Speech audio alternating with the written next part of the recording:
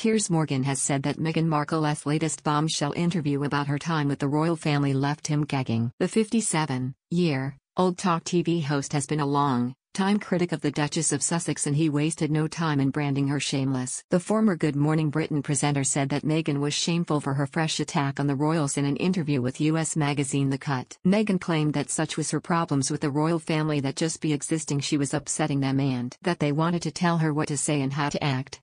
Former actress Meghan also claimed that a cast member of West End and Broadway hit musical, Lion King, told her we rejoiced in the streets the same we did when Mandela was freed after she married Prince Harry. Piers didn't hold back with his views on her comments, and hit out at the former royal, saying, even by Markle standards, this is a revoltingly self-aggrandizing, disingenuous hypocritical load of royal, bashing tosh. He then said that he felt sick hearing some of her other quotes. Piers continued, the Mandela anecdote alone had me gagging. How dare she use her title to keep trashing the institution that gave it to her? Shameless, shameful. Meghan blasted the royals for not getting the arrangement she and Harry wanted after they were married and said that we're not trying to reinvent the wheel with their demands. She also claimed that other royals were allowed to carry out duties how they wanted and insinuated that she and Harry were treated differently.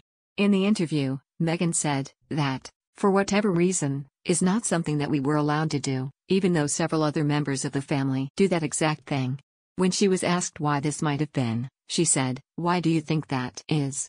She said that they were willing to go to any Commonwealth country to be away from the family, claiming, anything to just, because just by existing, we were upsetting the dynamic of the hierarchy.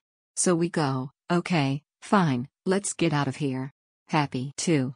Meghan claimed that Harry said he lost his dad when they turned their backs on royal duties and left for a life in California and said it was up to Harry whether he builds bridges back or goes the way she did with her father, Thomas Markle, who she has nothing to do with. Meghan said, Harry said to me, I lost my dad in this process. It doesn't have to be the same for them as it was for me, but that's his decision. Do you have a story to sell? Get in touch with us at webcelebs at mirror.co.uk or call us direct 0207 29 33033.